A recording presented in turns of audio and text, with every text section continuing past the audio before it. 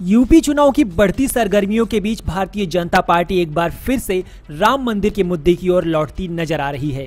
Party के घोषणा पत्र में संवैधानिक तरीके से अयोध्या में राम मंदिर बनाने के ऐलान के बाद अब भाजपा के नेता खुले तौर पर इस मुद्दे को उठा रहे हैं। भाजपा सांसद गिरिराज सिंह ने इस मुद्दे पर कहा है कि राम मंदिर ज़रूर बनेगा।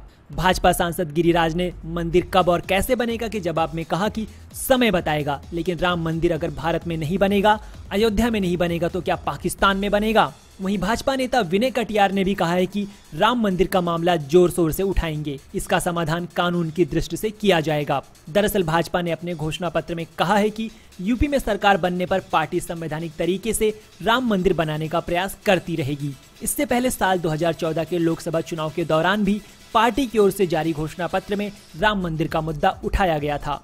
राम मंदिर का मुद्दा भाजपा और उत्तर प्रदेश के लिए नया नहीं है।